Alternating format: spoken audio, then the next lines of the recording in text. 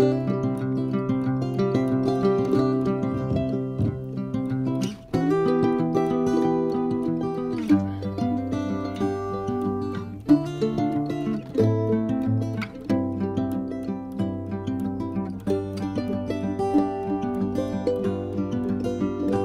good books, and a sleepy conscience, peace, love, and understanding here on Tabor Talk. Joe Rogan mentioned So Tabor let me do this right now. I'm going to transition to uh, what David.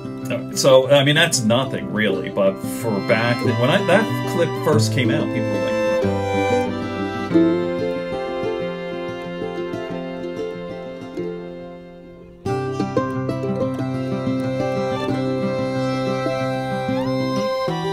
"If you have time, there are 70 videos here. Watch them." But I watched them recently, and he goes, "They suck." I feel the same way. I'm not a Star Wars guy. This was actually an old. This is actually five years old, but I.